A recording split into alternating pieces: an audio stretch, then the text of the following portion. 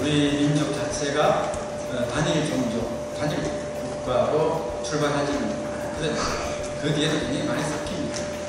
고려 시대까지도 섞이고 조선시대 조금씩 어, 피가 섞이고 종족 간 융합이 일어나고 그러죠. 어, 다만 고대 사회에서 여러 국가, 여러 종족들이 우리 민족의 기원을 이루는데 그 여러 그 여러 부류가 전혀 달랐느냐? 어, 그러지는 않았으리라고 생각이 들어요. 어, 종족적으로도 조금 비슷하고 문화적으로도 비슷한 부류였지만 국가가 달랐으리라고 오늘날 우리 역사학에서는 어, 대체로 그렇게 이해를 합니다.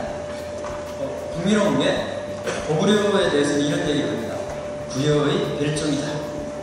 대통령 같은데 조금 다른 동유답니다. 그리고 고구려는 부여와 품성이 비슷하다. 다만 고구려 사람들의 기질과 복장은 부여 사람들하고 좀 다르다. 이것도 참 어, 특이하죠. 분명히 우리가 고구려 주몽 신화에서 보면 주몽은 부여에서 도망쳐 나와가지고서 나라를 일으킨 사람인데 복장이 조금 다르다고 기록되고 있어요. 그 다음에 또 동옥저를 서술하면서는 동옥저 사람들의 말은 대체로 고구려하고 같고 조금 다른 부분이 있다. 이렇게 언급을 하거든요. 그 다음에 뭐 강원도 동해안하고 춘천 지역이라고 주장하는 어, 동해, 우리가 교과서에서 배웠던 동해, 동해 같은 경우에는 고구려와 같은 종족이다. 이렇게 언급을 해요. 또 언어와 예절 이런 것들은 고구려와 같고 의복은 옷은 고구려와 좀 다르다. 이렇게 하고 어, 그런데 한반도 중남부 미남 쪽에 마한 진안 대남 이른바 우리가 상한이라고 합니다. 상한은 고구려랑 같다든가 부여랑 같다든가 이런 얘기를 한 번도 안 합니다.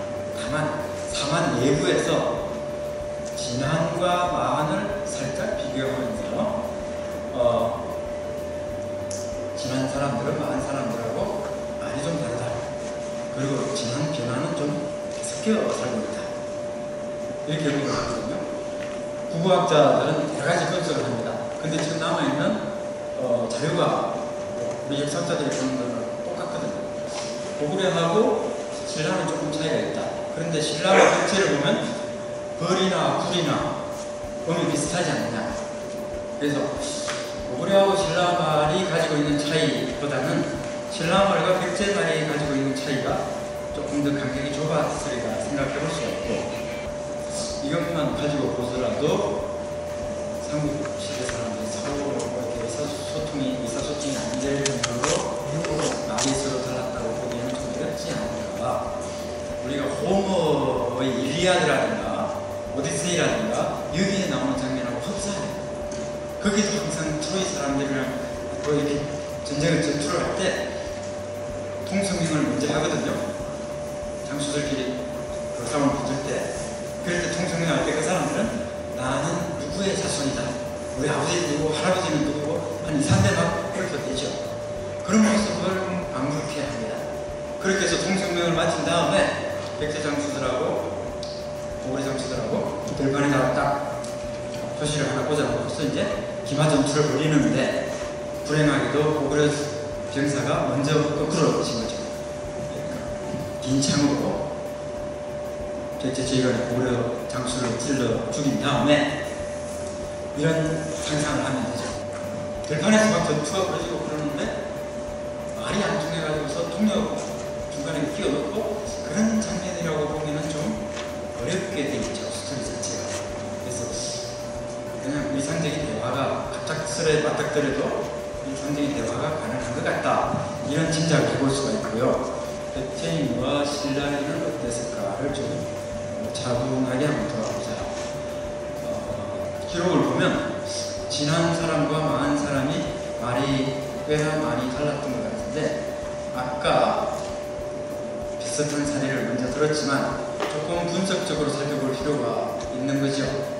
어, 이거는 지난이든 만이든 아직 우리 문자를 가지고 있지 못한 시절에 우리 발음을 막 쓰면서 그 발음을 중국의 한자를 빌어다가 표현을 하는데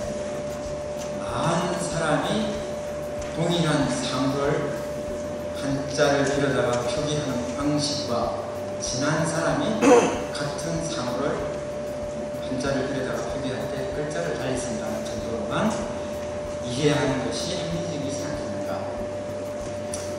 어, 백제 사람과 신라 사람이 말이 통하지 않아서 그 사이에 또 한 번 통역을 두고 이런 대화 정보 교환이 이루어졌을까 생각해보면 아니라는 결론을 얻을 수밖에 없어요. 뭐 굉장히 어, 우리가 흔히 중력을 한다고 하는데 두 번 번역한다는 거죠. 이거 보통 일이 아닙니다. 끝으로 고려 사람과 신라 사람들은 어땠을까? 신라 사회 불교가 어떤 경로를 통해서 들어오냐? 상문 유사 기록에 따르면 처음에는 목포자가 들어와서 경상북도 북부 지역 오래 집에 왔었다. 그 어려운 불교 교리와 말도 안 통하는 사람한테 놓고 어떻게 강의해서 신도를 만들어냅니까? 불가능한 거죠. 어느 정도 의사소통에 약간 사투리가 있었을지라도 강의를 듣고 이해할 수 있을 정도의 고구려 신라 사람들 사이에 소통 가능하다는 친자가 해볼 수 없고 또 하나 더 분명한 사례는 그 칠부를 예를 들 수가 있습니다. 양호에 이건 몰라요. 김명을 설치하고 중국말을 할 수 있는 김인훈, 김양도 또 김유신 아들 김등성 등을 보내서 당나라 진영에 가서 왕의 뜻으로 물량을 보냈음을 전하였다. 요 경우 통역을 데리고 가게 했다. 딱 기록이 되어 있는 걸 봐서 통역이라는 말이 빠진 사례들에서는 조금 소통이 가능했으리라고 이제 짐작을 해도 큰 무리가 아니리라 생각이 되죠. 전쟁의 과정을 통해서 아까 조미갑이라든가 돼서 조미사에 가는 사람들 전쟁의 과정을 통해서 삼국 사람들이 서로 접촉 횟수가 늘어나고 교류가 일어나요. 그래서 굉장히 장기간 지속된 전쟁이니까 이 과정을 통해서 고구려 백제 신라 삼국 사람들이 서로 비슷해진다는 겁니다.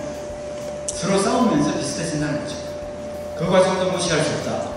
그 과정을 거쳐서 어, 당나라하고 싸울 때 고구려 유민과 백제 유민과 이런 사람들이